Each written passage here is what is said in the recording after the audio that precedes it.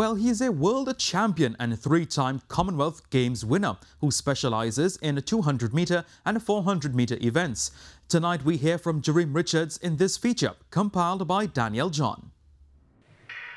National athlete Jereem Richards, whose story tells of hard work and resilience, has been able to sprint to success. It was a really great year. Majority of the goals that I set out for myself this year I was able to accomplish. Um, from winning the World Indoor Tour to um, taking a shot at the 400 meters at the CAC um, Games was, um, you know, it was a shot that I, I wanted to try something new this time around, and I was successful. However, despite the many successes of the 2022 gold medalists, every journey has its hurdles. Everything for me in 2023 went according to plan, except um, for coming home and getting hurt and then being set back and and stuff like that. But you know, that's part of life. That's part of sport. Um, sometimes you you make plans for yourself and um, things don't go according to plan, and all you could really do is um, you know use plan B, and sometimes plan B might work, so you go to plan C. So you always have to be able to, um, I would say, adjust. Notwithstanding his minor setback in 2023, Jereem plans to make a major comeback in the upcoming year. Next year, please God, we have the World Indoor Championship, so I'll have to go and defend my title there.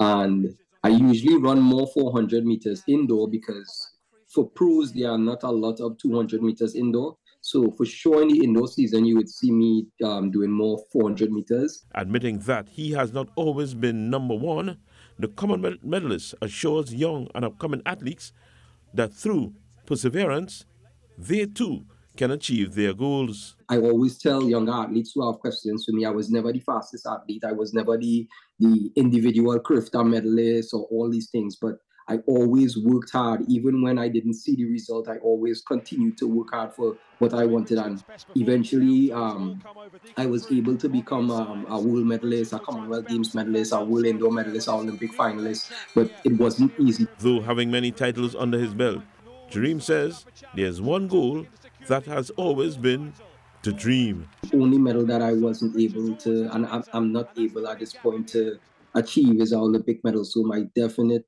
um, full goal this time is to be able to get our Olympic medal and finish the collection. While it's a personal responsibility to reach one's full potential, Richard explains how negative feedback from citizens can deter young athletes from reaching their full potential.